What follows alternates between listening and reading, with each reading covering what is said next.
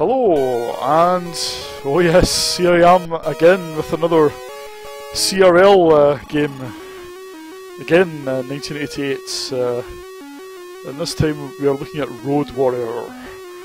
And uh, I can pick a car here, I don't think it makes too much difference. It, makes a little difference, I think. Uh,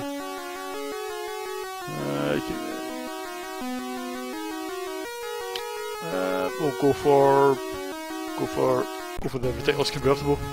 So um, we're off, and at the start of the level actually tells you how many, or at the start of the game it tells you how many bikes you have to destroy. And I probably press far too soon, but uh, anyway, at the bottom of the screen is a, a counter. It says four at the moment, so it says three. So that's your target for the level. But if you destroy other cars, I think uh, it goes up.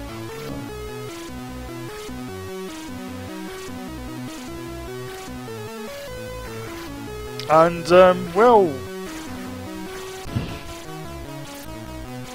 that's the game. So, actually, in terms of presentation, uh, it actually is quite presentable. I mean, it looks alright. Uh,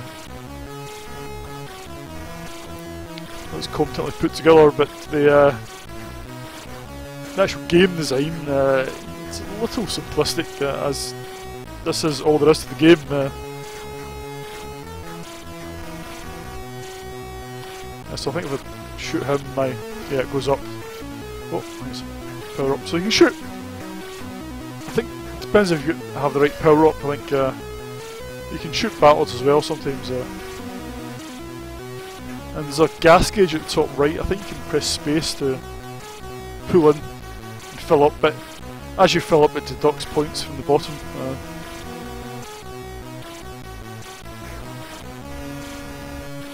But yeah, again, this is not completely terrible, but uh, I think if you paid nine ninety nine for this back in the day, back in 1988, I think you would have felt a little shortchanged. Uh, um,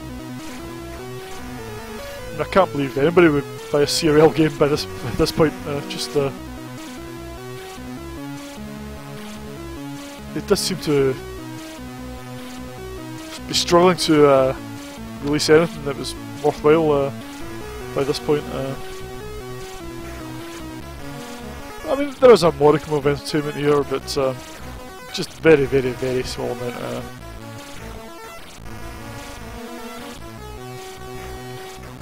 uh, yeah, the music is a bit, um, it's a bit brash. I think I suspect it might be David Whittaker. Uh.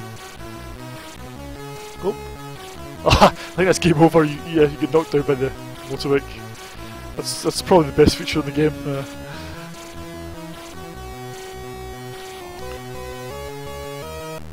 yep. So that's uh, Road Warrior for you. Um, graphics, uh, actually not too bad. Uh, okay.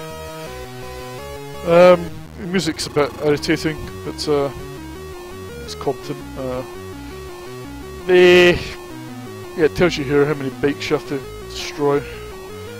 Um, yeah, the gameplay, yeah, it's just too simplistic. Uh, um, I'll, I'll give this 2 out of 10. Um, not really recommended. Uh, see you in the next video.